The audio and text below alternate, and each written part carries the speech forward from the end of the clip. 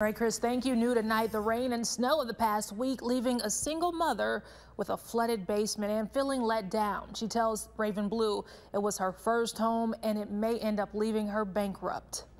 It breaks my heart. I mean, I bought this kid, this house for my kids, and I worked really hard to get this house. When Jayla Beggs moved into her first home in Flint Township the day before Thanksgiving, she thought it was a dream come true. But on Friday, that dream turned into a nightmare. Less than two months after buying the home, she smelled smoke coming from her furnace. I came downstairs, and my house was flooded.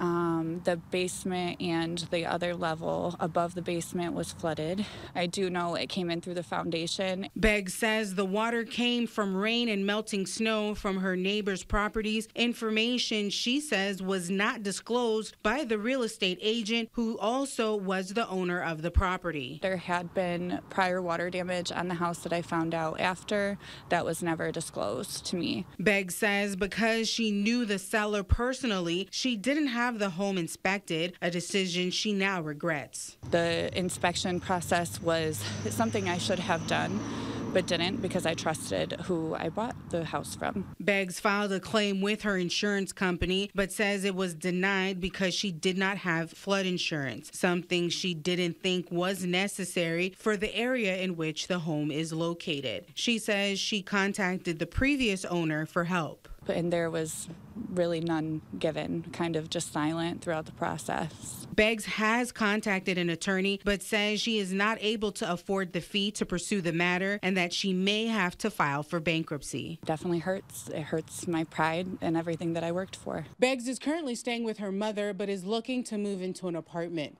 in Flint Township. Raven Blue, WNEM TV 5.